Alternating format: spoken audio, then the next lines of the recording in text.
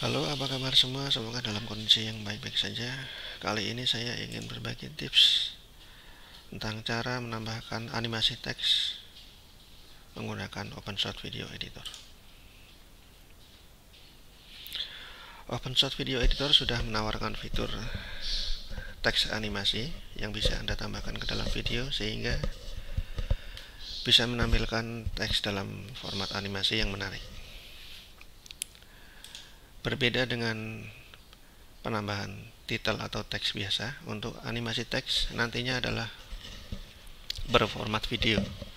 Jadi bukan teks yang ditambahkan di dalam layar, melainkan file video yang bisa Anda tambahkan dalam sequence. Kali ini saya ingin menambahkan teks animasi di akhir video bertuliskan terima kasih karena animasi teks formatnya video jadi kita hanya memerlukan satu track saja. Kita kurangi tracknya ya, semuanya menjadi satu. Kemudian saya ingin tambahkan file video.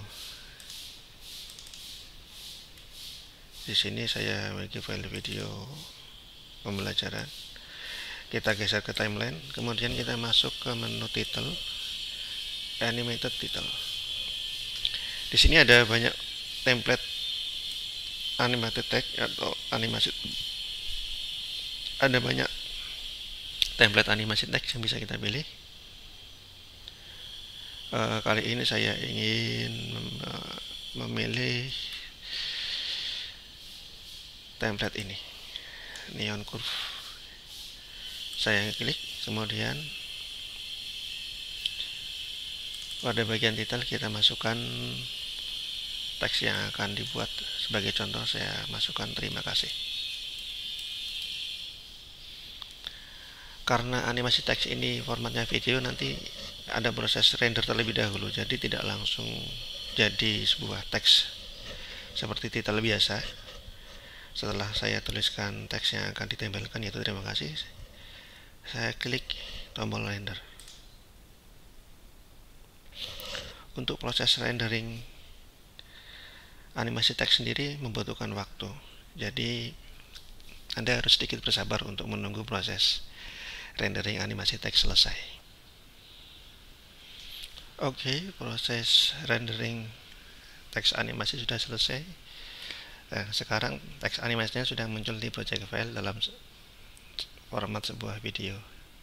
Tinggal kita geser ke timeline di bagian akhir video.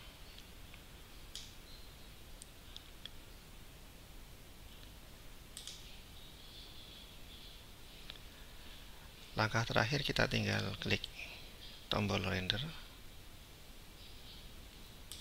Oh ya tadi untuk proses rendering teks animasi sendiri cukup lama ya. Di komputer saya dengan prosesor Intel i5 itu butuh waktu sekitar 5 menitan.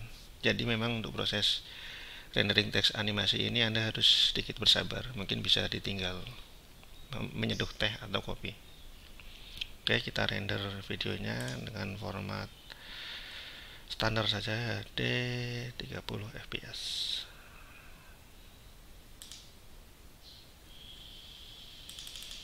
file name-nya teks animasi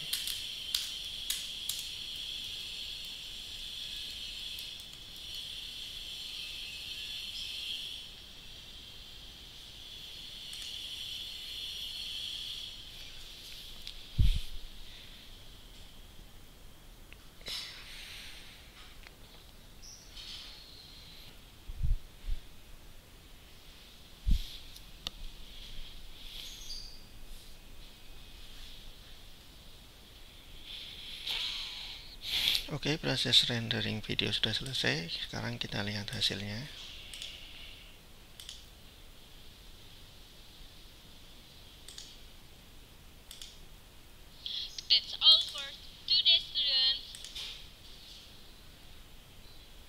Nah, jadi demikian hasilnya. Untuk teks animasi yang kita buat menggunakan OpenShot Video Editor. Demikian panduan untuk membuat teks animasi menggunakan OpenShot Video Editor. Semoga berguna.